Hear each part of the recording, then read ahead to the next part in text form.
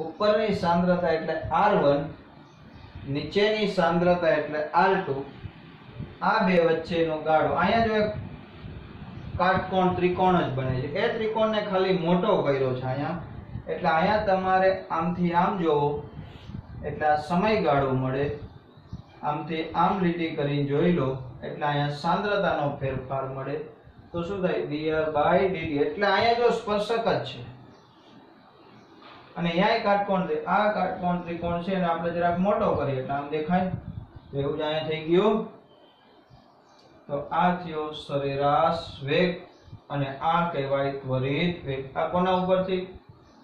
તો કે આપણે પ્રક્રિયકની સાંદ્રતા ઉપરથી. તો હવે જે તે સમય ત્વરિત મેળ અહીંથી મેળવો હોય તો અહીંયા આમ કરીને કાટખૂણો કરવાનો. અહીંયા મેળવો હોય તો અહીંયા કાટખૂણો કરવાનો.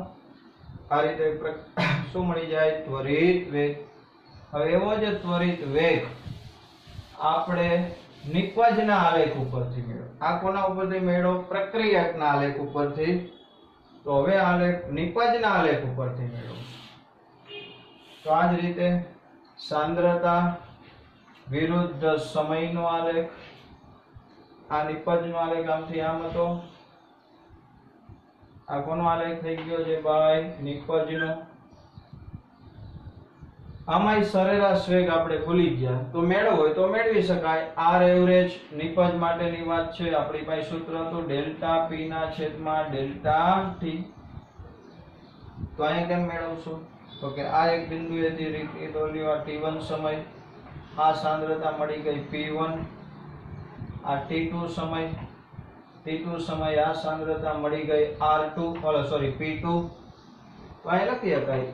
P2 minus P1 છેદમાં T two minus T one આગળનો વેગ મળી ગયો સરેરાશ વેગ આ રહ્યો પણ આનો ત્વરિત વેગ મેળવવો છે. તો આની જેમ જ જે ટી સમયે ત્વરિત વેગ મેળવો આ ટી સમય મેળવો ત્યાં ત્યાં સીધી લીટી દોરવાની.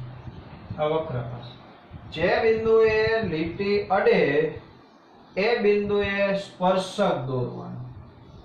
શું દોરવાનો સ્પર્શક વક્રની બહારની બાજુએ જોઈજો આમાં વક્ર આમ હતો એટલે આમ સ્પર્શક આવ્યો. આમાં વક્ર આમ છે એટલે ઉપર સ્પર્શક. એ સ્પર્શકનો ઢાળ લઈ ગયો શું લઈ લેવાનો? ઢાળ. શું થઈ ગયો? ઢાળ. તો આના ત્વરિત વેગનું સૂત્ર શું? આર ઇન્સ્ટન્ટેનિયસ બરાબર? આર ઇન્સ્ટન્ટેનિયસ બરાબર? શું થશે?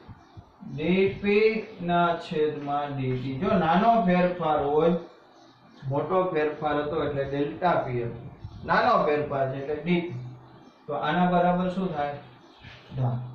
પણ આમ ઢાળવાળી રેખા છે, એ ધન ઢાળ છે એટલે અહીંયા કાંઈ માઇનસ મૂકવાનું આવે નહીં.